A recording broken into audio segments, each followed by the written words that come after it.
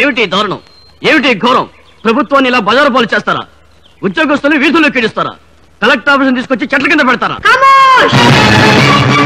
ప్రభుత్వాలు దొరలకి పక్కలేసేటప్పుడు ఉద్యోగం చేసుకునేటోళ్ళు ఉన్న వాళ్ళకి కాపలా కుక్కలైనప్పుడు ఆఫీసులు అడవిలోకే వస్తాయి ఆఫీసులు చెట్టు కిందకే వస్తారు. దీన్ని రౌడీజం అంటారు గోండాయిజం అంటారు టెర్రరిజం అంటారు. కాదు మాయిజం మావోయిజం.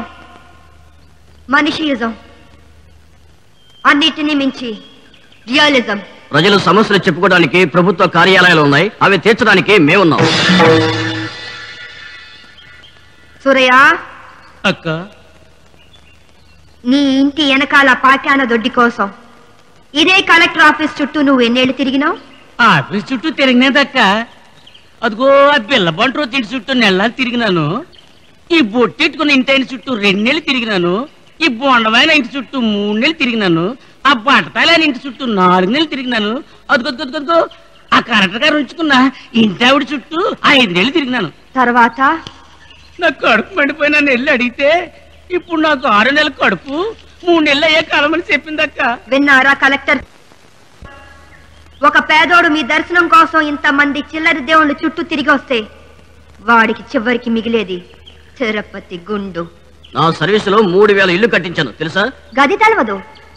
కానీ బంజారా హిల్స్లో నువ్వు ఉంచుకున్న ముగ్గురికి మూడిళ్ళు కట్టించావు. గది తెలుసు. నువ్వు ఉంచుకున్న దాని తమ్ముడికి ఇంజనీరింగ్ కాలేజ్ లైసెన్స్ ఇప్పించావు. గది తెలుసు. నీ కొడుక్కి ఎస్సీ కోటాల డాక్టర్ సీట్ తెప్పించావు. గది తెలుసు. పేదవాడి గురించి మాట్లాడతారు.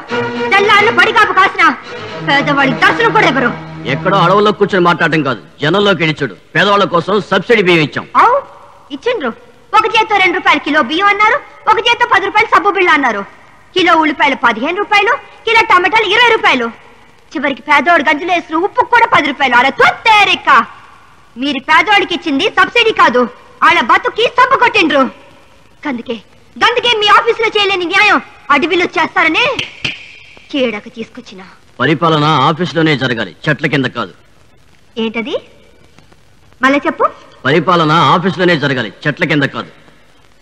ఏంటండి? మళ్ళీ చెప్పు. పరిపాలన ఆఫీసులో చెట్ల కింద కాదు. మళ్ళీ చెప్పు.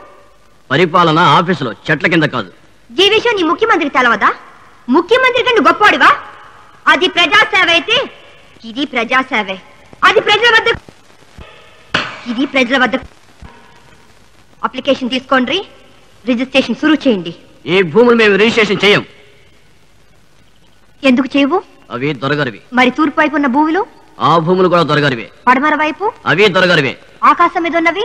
ఎన్నిసార్లు చెప్పాలి? ఆ భూములన్నీ దొరగరివే దొరగరివే దొరగరివే భూమిని ఆకాశాన్ని దొర గుత్తానికి చేర్చి ఈ పేదవాడిని ఏ బాధల్లోకి తొక్కుతారా? దొర ఎముకల ఫ్యాక్టరీ కడతానంటే వందల ఎకరాలు ఇస్తారా దొర రంగురంగుల సినిమా స్టూడియో కడతానంటే సిటీ నడిబొడ్డున వేల ఎకరాలు ఇస్తారా దొర చేస్తానంటే సమాధి కట్టనీకి పేదోళ్ళు గుర్తులు ఖాళీ చేస్తారా పేదోడు పండడానికి పంట పండించుకోవడానికి జానడు భూమి అడిగితే బాగా రూల్స్ వినిపిస్తారా? తిత్తి తీస్తా. రిజిస్ట్రేషన్ సురు చేయి సార్ మనకెందుకు సార్? అది ఎప్పుడో చేయాల్సింది సార్. ఇప్పుడు చేసేద్దాం సార్. ఆపండి! ఆపండి! ఈ రిజిస్ట్రేషన్ ఆపండి! మీకు దండం పెడతా! ఈ రిజిస్ట్రేషన్ ఆపండి! అమ్మా రావులమ్మా! గరీబ్ వాళ్ళకి దిక్కులేని వాళ్ళకి వేగు సుఖమమ్మా ఆ అవులేగాళ్ళు ఆ లుచ్చాగాళ్ళు దొంగదారిలో నాతో నీకు రాయబారం పంపిండ్రమ్మా నా యాళ్ళు నీకు ఘోరం తలబెట్టిండ్రమ్మా ఏమైంది? అమ్మా ఈ భూమి పంపకాలు ఆపకపోతే భూముల పంపకం ఆపకపోతే? వాళ్ళ చేతిలో చిక్కిన నీ బిడ్డని రెండు ముక్కలుగా నరికి నీకు కానుకగా పంపుతామని చెప్పమన్నారమ్మా. ఏంటి? సహాయం బంధించారా? అవునయ్యా చిత్రహింసలు పెడుతున్నారయ్యా. ఆగండి! ముందు ఈ పట్టాలు పంపకం కానివ్వండి. పేర్లు చదవండి. వీసాల పాపయ్య! అమ్మా వాళ్ళ చేతిలో అధికారం ఉందమ్మా. అమ్మా రాచమల్లి! వాళ్ళు దొంగనాయాళ్ళమ్మా అమ్మా వాళ్ళు నీ బిడ్డ ప్రాణాల్ని అన్యాయంగా తీసేస్తారు తల్లి. చూడు నారయ్య ఇక్కడ ఉన్న ఎంతో మంది తల్లులు బిడ్డల్ని పోగొట్టుకున్నారు. వాళ్ళ కడుపు కోత కంటే నా కడుపు తీపి ఎక్కువ కాదు. ముందు వాళ్ళకి న్యాయం జరిగినవ్వండి